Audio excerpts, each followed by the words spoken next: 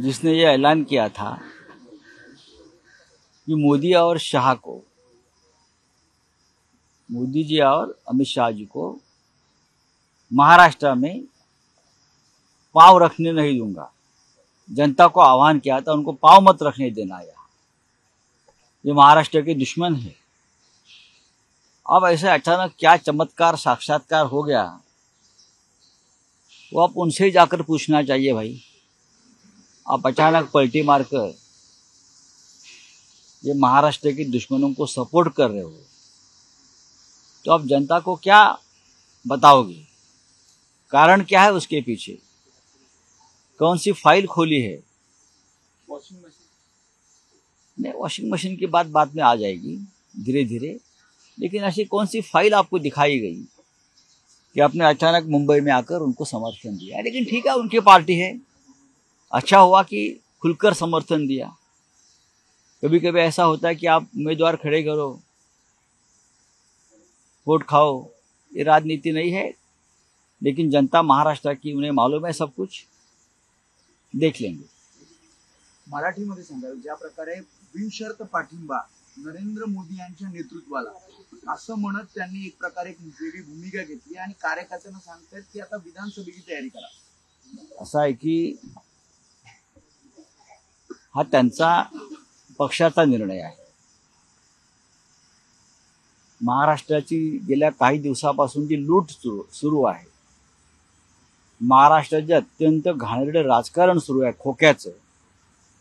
त्याचे सूत्रधार नरेंद्र मोदी आणि अमित शहा आहे महाराष्ट्रातून उद्योग पळवला जातो.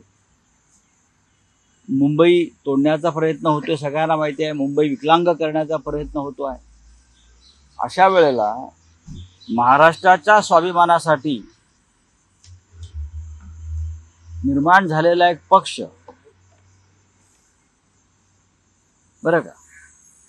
महाराष्ट्राच्या दुश्मनांना पाठिंबा देत असेल तर लोकांच्या मनात काही शंका उत्पन्न होतात. त्याची उत्तर त्यांनीच द्यायची. असं काय घडलं? तुम्हाला अचानक या महाराष्ट्राच्या शत्रूंना पाठिंबा द्यावा असा वाटला. याबाबत लोक त्यांना प्रश्न विचारतील. म्हणजे तुमचा जो पक्ष आहे त्याचा नमोनिर्माण पक्ष का झाला? नमोनिर्माण पक्ष होण्याची अचानक का गरज पडली? हे त्यांनी सांगावं. त्यांच्या पक्षानं कोणती भूमिका घ्यावी? हा त्यांचा निर्णय सर्वस्वी. आम्ही महाराष्ट्राच्या अस्मितेसाठी स्वाभिमानासाठी आम्ही लढतो आहोत. मग नरेंद्र मोदी असतील समोर किंवा अमित शहा असतील आम्ही शरणागती पत्करणार नाही. थेट तुमचं नाव घेत म्हणजे त्यांनी सांगितले की संजय राऊत आणि उद्धव ठाकरे जरी बोलत असतील तर त्यांनी सुद्धा स्वार्थासाठी भाजप सोबत राहिले आम्ही कधीही स्वार्थासाठी भाजप बरोबर राहिलो नाही एक हिंदुहृदय सम्राट शिवसेना प्रमुख बाळासाहेब ठाकरे अटल बिहारी वाजपेयी अडवाणी प्रमोद महाजन या सगळ्यांनी त्या काळामध्ये हिंदुत्ववादी मतांचं विभाजन होऊ नये म्हणून केलेली ती युती होती. ती पंचवीस वर्ष चालली. पण भारतीय जनता पक्षानं जेव्हा आपले खरे दात दाखवायला सुरुवात केली तेव्हा आम्ही तो जबडा फाडून बाहेर आलो आणि आम्ही स्वतंत्रपणे आमच्या भूमिका घेतल्या. आजही आमची भूमिका ही महाराष्ट्राच्या संदर्भात स्पष्ट आहे. जर कोणी महाराष्ट्रावर अशा प्रकारे घाव घालणार असतील महाराष्ट्राच्या स्वाभिमानाला ठेच पोचवणार असतील तर शिवसेना संयुक्त महाराष्ट्राच्या चळवळीत ज्या प्रकारे सगळे एकत्र आले महाराष्ट्राच्या दुश्मनांच्या विरोधात तेव्हा त्या पद्धतीने आम्ही एकत्र येऊ. तुम्हाला वैयक्तिक वैयक्तिक काय वाटतं? काय नेमकं झालं असेल? जेणेकरून अशा प्रकारे पाठिंबा द्यावा. म्हणणं राजकीय व्यभिचाराला पाठिंबा म्हणजे?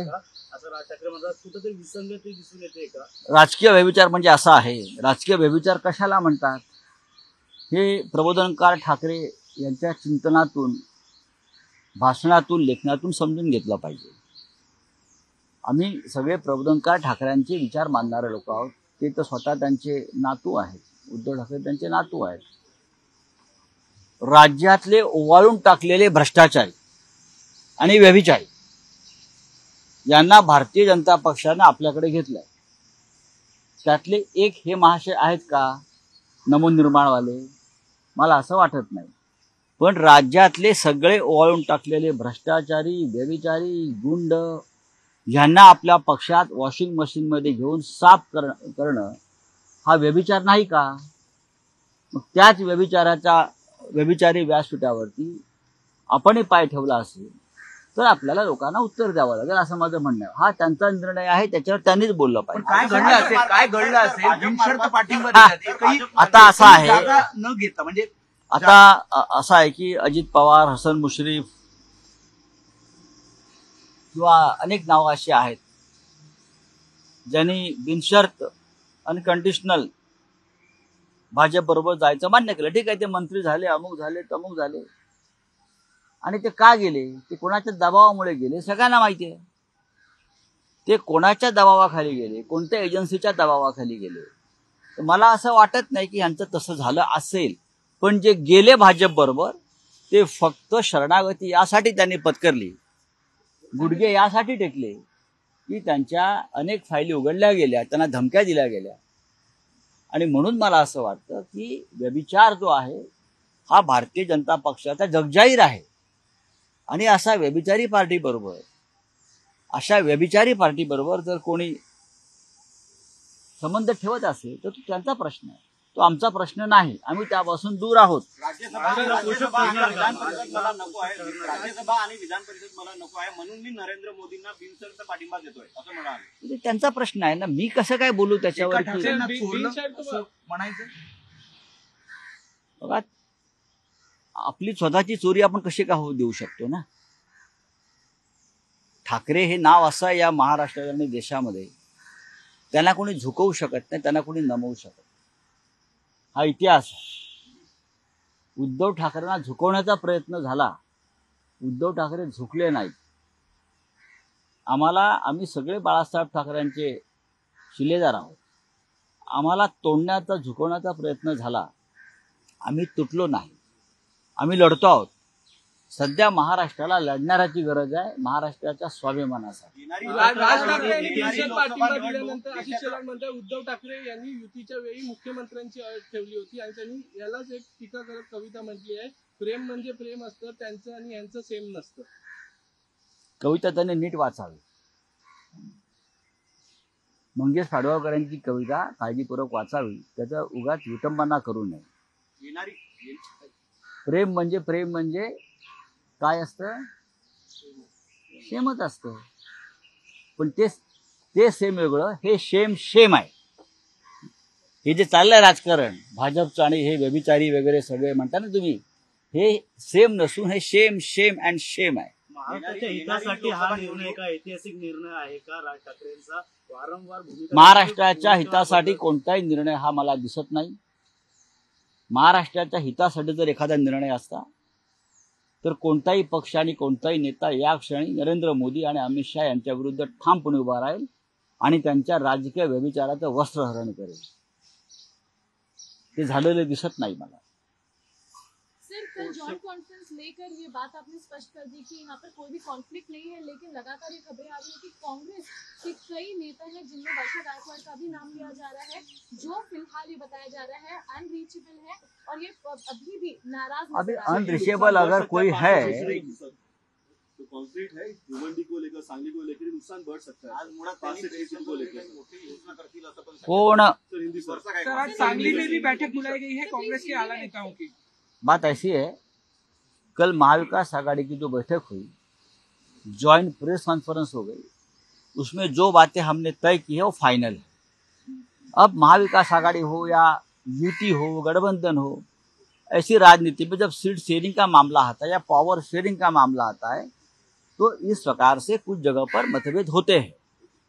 आज की बात नहीं है। लेकिन हम, अगर कोई ऐसा मामला आता है हम सब मिलकर उसके ऊपर निर्णय लेंगे। वर्षा गायकवाड़ जी हो, विशाल पाटिल जी हो, विश्वजीत कदम हो, सभी अपने अपने पार्टी के वफादार लोग हैं। जैसे हमारे शिवसेना में विनोद घोषालकर जी को हमने गो अहेड दिया था, मुंबई नॉर्थ में वो काम कर रहे थे। लेकिन जब कल 12 बजे निर्णय हुआ कि ये सीट कांग्रेस को हम दे सकते हैं तो वहाँ से ही हमने विनोद जी को बताया उद्धव जी ने और नाना पटोले जी ने भी फ़ोन किया और कहा विनोद जी ये अब कांग्रेस के पास आ रही है। हमें आपका कोऑपरेशन चाहिए। तुरंत विनोद घोषालकर ने कहा जो पार्टी का आदेश है जो महाविकास आघाड़ी का आदेश है वो मुझे मान्य है मंजूर है। मैं आपको मदत राऊत साहेब सांगलीमध्ये ज्या प्रकारे एकंदरीत आपण बघतो तुम्ही महाविकास आघाडीची पत्रकार परिषद झाल्याच्या नंतर सांगलीमध्ये सर्व आलबेल अं, नाहीये असं चित्र एकंदरीत आहे. ते चित्र आहे. ते- ते फक्त चित्र आहे. अशी चर्चा की विशाल पाटील वेगळा निर्णय घेऊ शकतात? पाहू ना आपण. मला असं वाटत नाही. विशाल पाटील हे वसंतदादा पाटील यांच्या कुटुंबातले आहेत, त्यांचे नातू आहे. वसंतदादा पाटील हे काँग्रेसचे महाराष्ट्रातले पितामह आहे दोन हजार एकोणीस साली विशाल पाटील यांनी काँग्रेस सोडली होती. आणि ते दुसऱ्या पक्षाकडून निवडणुकीला उभे राहिले होते. त्यांना त्यात यश मिळालं नाही. मला असं वाटत नाही विशाल पाटील यांच्यासारखा काँग्रेसचा नेता पुन्हा दोन हजार एकोणीसची चूक करून काँग्रेसपासून दूर जाईल. पण असा वेगळा निर्णय घेतला तर महाविकास आघाडीलाच होणार आहे. विश्वजित कदम आज मोठी घोषणा करतील विश्वजित कदम हे सुद्धा काँग्रेसचे नेते आहेत. आणि विशाल पाटील यांना समजवण्याची जबाबदारी आम्ही सगळ्यांनी विश्वजित कदम यांच्यावर सोपवलेली आहे. आज सर्व ठीक होईल असं वाटतं तुम्हाला? का ठीक होणार नाही? ठीक होईल ना? आमच्यासाठी अवघड काहीच नाही. धन्यवाद. ऑफ़िस मोठं उघडलेलं आहे. एलजी का? इंटरफेरेंस बढ़ रहा था दिल्ली सरकार में क्या लगता है आपको सीडी आएगा सर वहाँ पे? किस तरीके से इंटरफेरेंस बढ़ रहा है उनका सर? देखिए अब अब कोड ऑफ़ कंडक्ट चल रहा है। चुनाव मुख्यमंत्री जेल में आपने बंद कर दिया है। अब सरकार बर्खास्त कर, आप वहाँ एलजी का रूल लाना चाहते हो और एक बहुमत वाली सरकार वहाँ चल रही बहुमत वाली सरकार। आप इस तरह से आप तानाशाही लाएँगे ऐसी सरकार के ऊपर तो ये ठीक नहीं। पूरा विश्व देख रहा है कि दिल्ली में क्या चल रहा है। Thank you